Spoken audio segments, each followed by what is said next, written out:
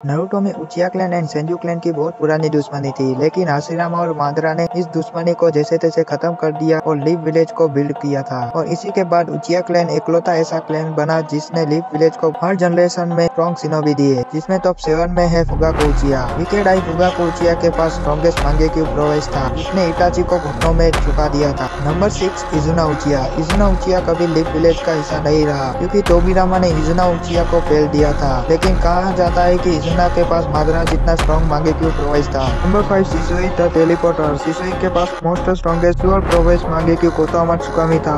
अगर डांसो बड़वा अपनी उंगली नहीं करता और उचिया के मैटर में तो सिसोई इटाची से भी ज़्यादा स्ट्रॉन्ग था। नंबर फोर इटाची उचिया इटाची उचिया जैसा महान जनरेशन में एक ही बार पैदा होता है। Number three Obito Uchiha Obito जब ओबिटो में ट्रांसफॉर्म हुआ था, तब वो प्राइम हासीनामा से भी ज़्यादा स्ट्रॉन्ग था। ये बात हासीनामा खुद बोलता है। Number two Madara Uchiha Uchiha Uchiha clan का लीडर हुआ करता था और फ़र्स्ट टाइम मात्रा उचिया ने ही मांगे की उस किया था। पर कौन सबसे स्ट्रॉन्ग है वो आप कमेंट में बताओ।